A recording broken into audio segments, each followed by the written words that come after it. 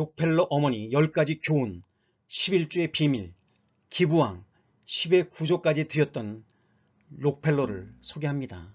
록펠러 어머니의 기도와 10계명, 아름다운 습관 11조 평생 실천, 때로는 10의 구조까지 드렸다.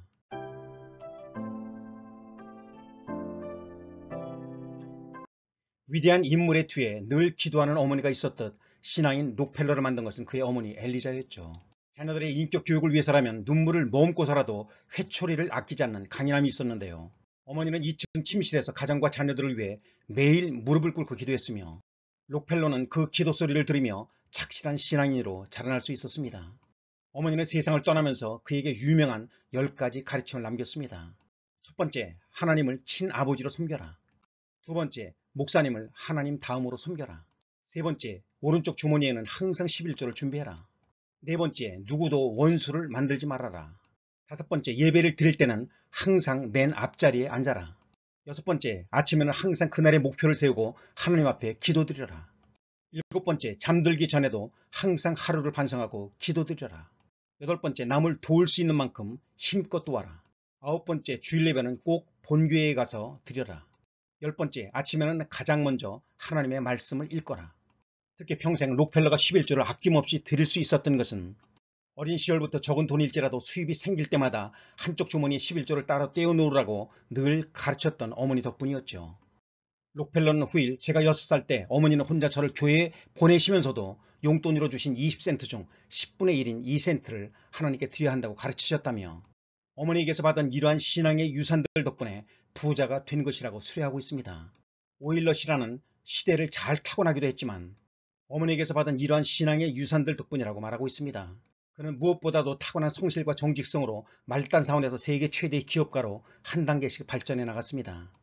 그는 처음 회계장부 일을 맡았을 때 자신의 생활 태도와 재정 상태도 함께 기록했으며 수입과 지출은 물론 사업 자금과 자선사업 내역까지 꼼꼼히 기록했죠. 늘 어느 싸구려 옷가게에서 옷을 사 입었지만 살 수 없는 비싼 옷들보다 훨씬 더 질이 좋다고 생각한다는 기록도 있었습니다. 록펠러는 자녀들에게도 이러한 전략정신을 전해주는 등 자녀들을 평범하고 신앙적으로 키우고 싶었기 때문에 엄청난 부를 축적했음에도 전혀 티를 내지 않았다고 하죠. 자녀들은 용돈을 받으려면 청소를 하거나 파리를 잡는 등 집안일을 해야 했습니다. 그래서 록펠러의 자녀들은 어른이 될 때까지 아버지가 부자라는 사실을 알지 못했을 정도였죠. 록펠러와 자녀들은 잠자리에 들기 전 무릎을 꿇은 채 기도했고 돌아가면서 성경 구절을 암송했으며 자녀들은 훌륭하게 자라 록펠러의 자선 사업을 이어받았습니다. 록펠러는 시카고 대학을 세워 많은 학생들을 길러냈고 의학연구소를 세워 각종 전염병과 폐렴, 소마비와 매독 등을 치료할 백신을 개발해 인류 번영에 공헌했죠. 급기야는 이 모두를 통합해 록펠러 재단을 세우고 전 세계 가난한 이웃을 돕기 시작해 오늘에 이르렀습니다. 미국 뉴욕의 명소인 록펠러 센터는 1930년대 대공황을 맞아 일자리 창출을 위해 시작된 건축물이었습니다. 록펠러는 이미 100년 전 최근에 우리 사회에서 회자되고 있는 따뜻한 시장경제, 기업의 사회적 책임을 실천했던 송구자적인 인물이었습니다. 그러한 사회공헌이 일각의 비난처럼 시장 독점으로 인한 비난 회피용이나 상속세, 무마용이었는지는 그와 하나님만이 아시겠지만 이후 100년에 걸쳐 수많은 기업가나 부유한 자들이 록펠러처럼 자신의 부를 사회에 환원하거나 뜻있게 사용하는 일을 명예롭거나 당연히 해야 할 일로 여기게 됐음을 부인하기는 어려울 것입니다. 그리고 천문학적인 재산 때문에 11조 액수도 어마어마했지만 그는 이를 조금도 아까워하지 않았습니다. 정확한 계산을 위해 40명을 일꾼으로 동원하기까지 할 정도였죠.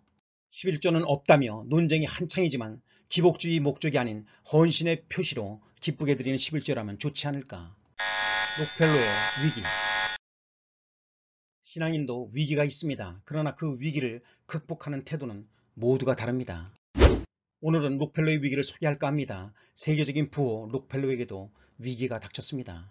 그는 친구의 권유로 광산업을 시작했지만 사기를 당해 원금을 모두 날린 것입니다.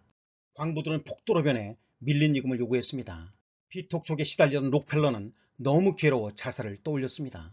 기업을 처음 시작할 때부터 철저한 11조 생활을 해온 록펠러는 황량한 폐광에 엎드려 기도했습니다. 하나님 말씀은 1점 휘렉도 틀림없음을 믿습니다. 그리고 저는 지금까지 온전한 11절을 드려왔습니다. 그런데 왜 이런 시련을 주십니까? 하나님이 살아계심을 보여주십시오. 록펠러는 통곡했습니다. 그때 마음속 깊은 곳에서 들려오는 위로의 음성이 있었죠. 때가 되면 열매를 거두리라. 더 깊이 팔아. 록펠러는 이 말씀을 믿고 폐강을 더 깊이 파기 시작했습니다. 사람들은 록펠러가 제정신이 아니라며 수군거렸습니다. 그때 갑자기 황금 대신 거무물이 분수처럼 공중으로 솟구쳤습니다. 그것이 바로 석유였습니다. 자살 직전에 록펠러는 유전을 발견해 인력 거부가 되었습니다. 심은 대로 거둔다는 말은 거짓이 아니었습니다. 과거는 현재의 산물이라는 말이 있습니다. 어제는 오늘의 결과라고 합니다. 특히 신앙인들에게는 너무나 자명한 말입니다. 성공한 사람들의 성공을 부러워하지 말고 그들의 신앙 생활과 철학을 본받아야 합니다. 위기는 누구에게나 있습니다. 그 위기를 신앙으로 잘 극복하면 훗날 인생의 좋은 간증은 물론 축복으로 다가옵니다. 젊어서 복은 안개와 같은 복입니다. 노년의 복은 그동안 눈물로 씨를 뿌린 가장 가치 있는 하늘의 복입니다. 신앙인들은 노년의 복을 받아야 합니다. 눈물을 흘리며 씨를 뿌리는 자는 기쁨으로 거두리로다. 시편 126편 5절 잠언 16장 31절에는 백발은 영화의 멸관이라 공의로운 길에서 얻으리라 라고 말씀합니다. 거부가 된 록펠로의 성공 10계명을 보면 첫째, 하나님을 사랑하고 둘째, 이웃을 사랑하는 실천적 삶을 살았습니다. 그리고 하나님을 믿고 신뢰하는 신앙생활이 그의 철학이었습니다. 록펠러는 그런 신앙의 씨앗을 심고 거두게 된 것입니다. 자선사업과 악덕기업, 최고의 부자 록펠러의 두 얼굴 얼마 전 통계에서 역사상 전세계 최고의 부자에 선정돼 또다시 화제를 모은 존디 록펠러는 크리스천들과 일반인들에게 각각 다른 이름으로 기억되고 있습니다. 평생 11조를 들이면서 사회에도 많은 공헌을 했던 신앙인과 노동자를 착취하고 석유를 독점해 부를 이룬 악덕 기업인이 그것인데요.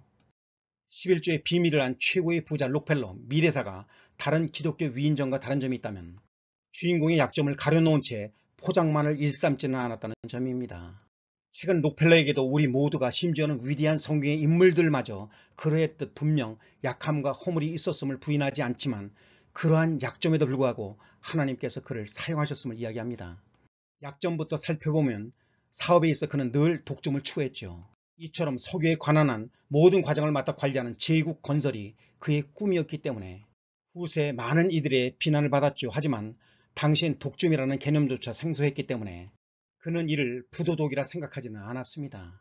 업체들의 난립 때문에 가뜩이나 석유 가격의 널뛰기가 너무나 극심한 상황에서 제살깎기 경쟁을 하며 혼란을 지속하기보다 업체 간 협력과 인수합병으로 시장을 정리하는 편이 낫다는 게 그의 지론이었죠.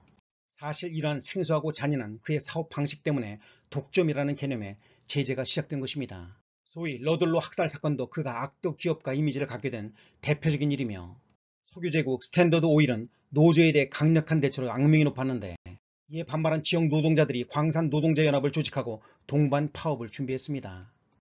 이에 스탠더드 오일이 사들였던 콜로라도 연료 철강은 연방정부와 함께 맞서다 서로 총격전이 발생해 사상자가 생겼습니다.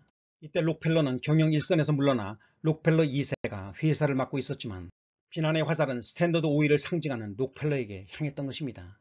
사실 우리에게는 이러한 부분보다 어린 시절부터 이어지는 그의 신앙적인 면에 더욱 눈길이 갑니다. 록펠러는 어린 시절 난봉꾼 아버지와 신실한 어머니 아래 성장기를 보냈는데요. 아버지는 집에 들어오지 않는 날이 훨씬 많았고 두 집 살림을 했다는 증언도 나옵니다. 오늘도 성령님과 동행하며 축복받는 하루가 되시기를 기원합니다. 크리스찬 튜였습니다. 감사합니다.